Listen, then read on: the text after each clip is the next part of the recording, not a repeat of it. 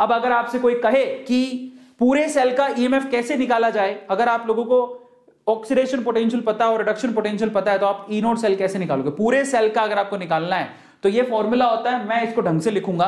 जरा आप ध्यान से चेक करना, ये फॉर्मूला थोड़ा सा गड़बड़ लिखा हुआ है राइट और लेफ़्ट के केस में लिखा हुआ मैं आपको थोड़ा सा करेक्ट करके सिखाता हूँ, ठीक है? तो आप लोग उसको ध्यान से देखिएगा, मैं आपको क्या बोल रहा हूँ।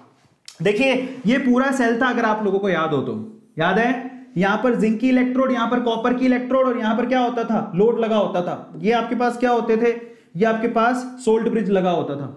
यहाँ पर कौन सा इलेक्ट्रोड पोटेंशियल पैदा होगा? ऑक्सीडेशन यहाँ पर कौन सा इलेक्ट्रोड पोटेंशियल पैदा होगा? रिडक्शन याद है आप लोगों को? क्योंकि यहाँ पर क्या हो रहा था? ऑक्सीडेशन यहाँ पर क्या हो रहा था? रिडक्शन यहाँ पर कौन था? जिंक यहाँ पर कौन था? कॉपर तो अगर मैं कहूँ कि पूरे सेल का ईएमएफ निकालो ई सेल या फिर ई नोट सेल नोट का मतलब स्टैंडर्ड स्टैंडर्ड कंडीशन होगी कैसे लिखोगे that is E naught of reduction potential plus E naught of oxidation potential इसको और करेक्ट करके लिखो।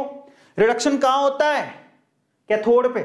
So E naught of reduction potential of cathode oxidation कहाँ होता है? एनोड पे। ऑक्सीडेशन पोटेंशियल ऑफ़ एनोड ऐसे लिखोगे।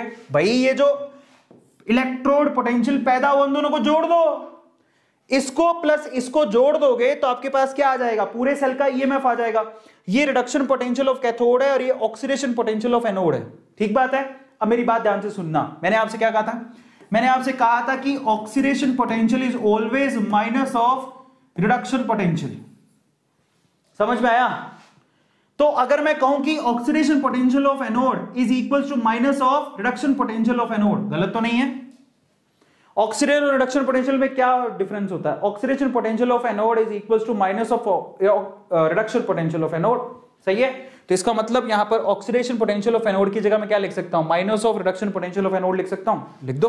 तो फाइनली ई नोट सेल का फॉर्मूला क्या निकल के आता है? E naught cell is equals to E naught of reduction potential of cathode minus of E naught of reduction potential of anode plus की जगह मैं क्या लिखूँगा? माइनस तो एक्चुअल में यही फॉर्मूला है जो आपको काम आएगा।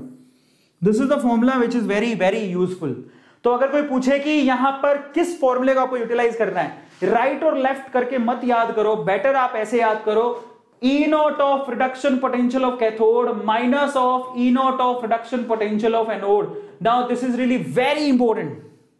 ये बहुत बढ़िया, बहुत ही चुनिंदा चीज़ है ई e सेल का, जो ये आपके पास फॉर्मूला है, जो बहुत कम बच्चों को याद होता है E naught of reduction potential of cathode minus E naught of reduction potential of anode ये फॉर्मूला एग्जैक्टली जो आपको याद करना है। बच्चों को, बहुत सारे बच्चों को गलत चीज़ याद है। समझ में आ गया? तो ये है, आपको कैथोड का रिडक्शन पोटेंशियल लेना है एनोड का रिडक्शन पोटेंशियल लेना this is how you have to memorize it otherwise आप गलती कर दोगे।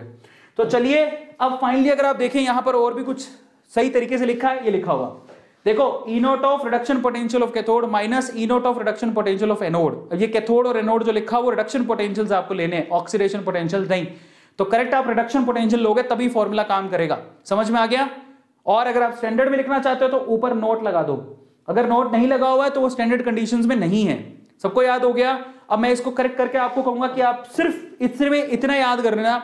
ये आपके पास रिडक्शन पोटेंशियल्स हैं। आर लगा लेना अदरवाइज़ गलती कर बैठोगे। क्योंकि आपको रिडक्शन पोटेंशियल दिए होते हैं। कई बार ऑक्सीडेशन दिए होते हैं, उसको कन्वर्ट कर लो रिडक्शन के अंदर। So E naught of reduction potential of cathode minus E of E naught of reduction potential of anode किस किस को याद हो गया just write on chat section कि यस सर हमें याद हो गया।